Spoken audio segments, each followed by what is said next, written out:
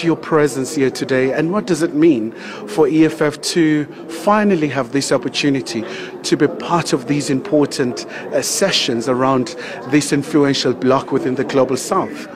Now, look, as the economic freedom fighters who have been participating in the BRICS Parliamentary Forum, it's not the first time. So, in the sidelines of the Interparliamentary Union's uh, 143rd Assembly in Madrid, in Spain, we actually had played uh, one of the most significant roles in the SADC, uh, in the BRICS Parliamentary Forum. So we have been always uh, associating uh, with these uh, BRICS parliamentary platforms, and and, and, and we have almost always encouraged that the South African Parliament should be at the forefront of promoting the, the, collaboration and cooperation between uh, the BRICS nations. Uh, perhaps what is different with this parliamentary forum is that we're now beginning to see the participation of the BRICS plus six uh, countries and nation states. Uh, the delegation from the United Arab Emirates is here, from Ethiopia, from the other countries who uh, have now been resolved by the BRICS summit to be forming part of the BRICS bloc. And it's a progressive platform which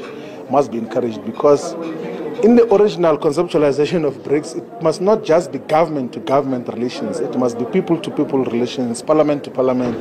There must be many other activities as well that are promoted uh, within the global south to, uh, to challenge the global hegemony of the West.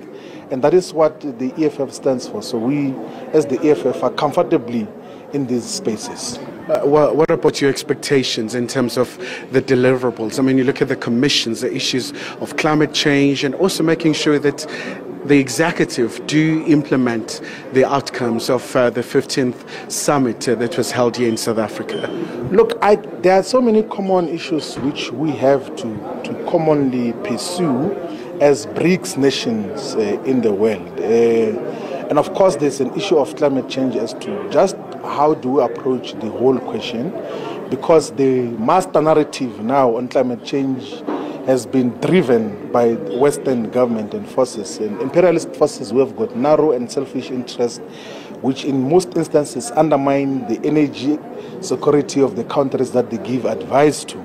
So the BRICS nation must come up with clear perspective as to just how do we deal with uh, climate change. But also there must be a common perspective on the reform of the United Nations. So I think we must utilize these platforms to call for the total overhaul of the United Nations uh, Security Council to have greater participation, particularly of the African countries, because I mean, we've got more than a billion people in Africa, but we do not have any meaningful participation in the United Nations. So we must lobby our friends in a BRICS Parliamentary Forum that perhaps in the next General Assembly of the United Nations, we should table a concrete program on how we get to reform the United Nations. Uh, but otherwise, we there are so many issues that we can deliberate on and give clearer perspective, and, and I'm sure that we will be able to achieve that. But the last issue, of course, which is important, is that South Africa has to consolidate the views of the African continent and not relate with BRICS nations just as one country. We should lobby for